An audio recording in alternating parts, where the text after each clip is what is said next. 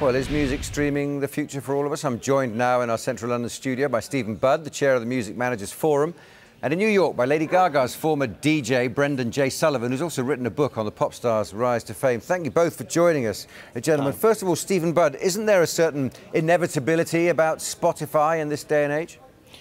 I think there is. I think that the consumers want uh, streaming. The whole industry is moving towards that way, and I think that over the next um, three to four years, we're going to see a massive overall take up of streaming right across the board, and uh, and and down the day of the download is is starting to decline.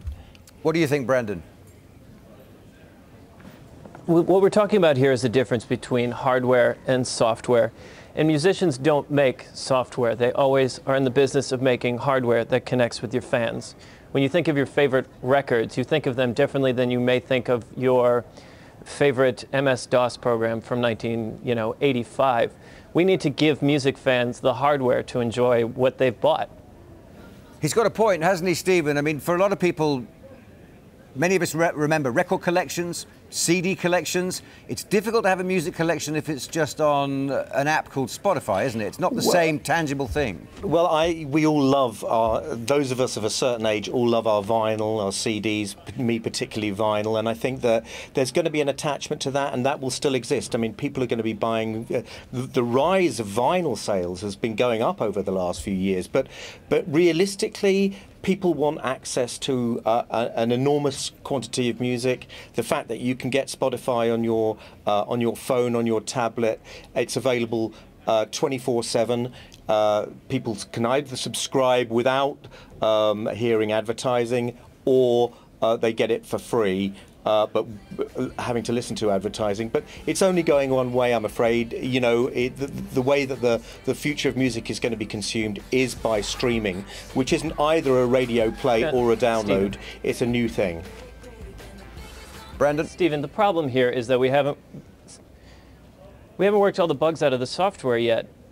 A young kid now who spends $9.95 a month on Spotify will have to choose between canceling Spotify and buying Taylor's album for $12.99. Now, Taylor Swift made $64 million last year. She could actually buy that album full price for 4.9 million fans. What we're talking about here is Taylor's record company and the people who provide access to the music all over the world. I mean, Steve. As of now, their only way of listening to it for free would be on YouTube. Well, indeed, YouTube YouTube is the biggest streaming service in the world. I mean, the, the question is is whether is whether streaming is the way of the future, and and the you know the reality is streaming is the way of the future.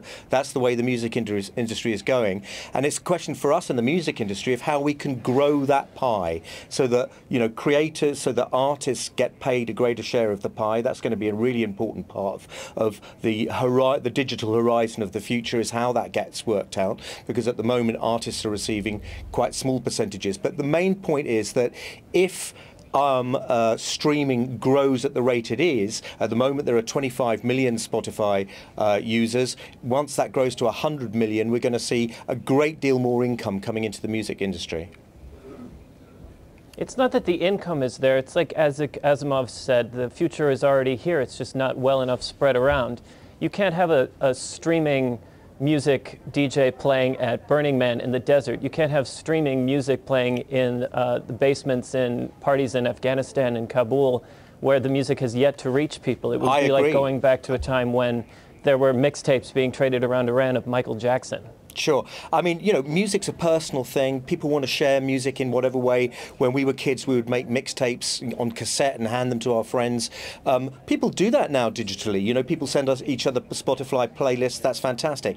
I'm, I'm not against, you know, um, the previous ways of consuming music. I'm a massive vinyl lover. You know, I even love eight-track and cassettes, but that's another thing.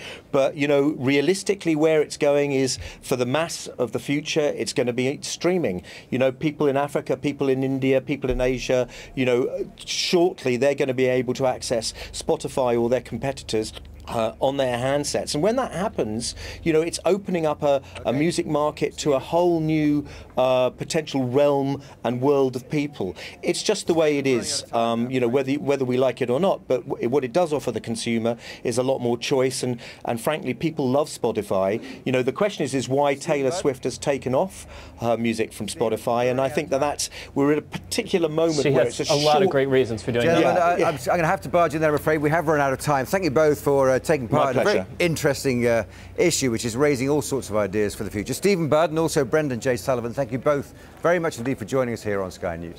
Thank you. You're watching Sky News. Coming up, sport, as Liverpool consider dropping their captain.